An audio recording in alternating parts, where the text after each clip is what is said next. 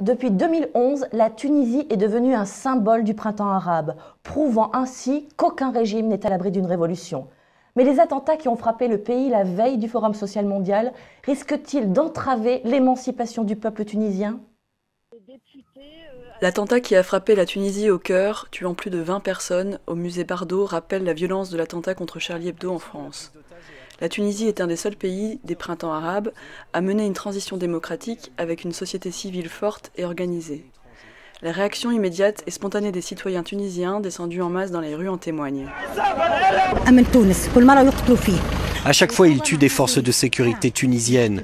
Et maintenant, des touristes. Mais c'est haram, c'est interdit.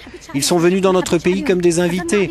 Je ne veux pas ça pour eux, ça me désole, nous sommes tristes. Du 24 au 28 avril 2015, la Tunisie accueillera le Forum social mondial. Des milliers de délégués, syndicalistes, militants des droits humains, hommes politiques, militants et associatifs, venus des quatre coins du monde, se retrouveront pour échanger et proposer de nouvelles perspectives sociales. Ce sera l'occasion de manifester leur soutien à ce pays encore fragile et de faire de Tunis, blessé, une capitale de la solidarité.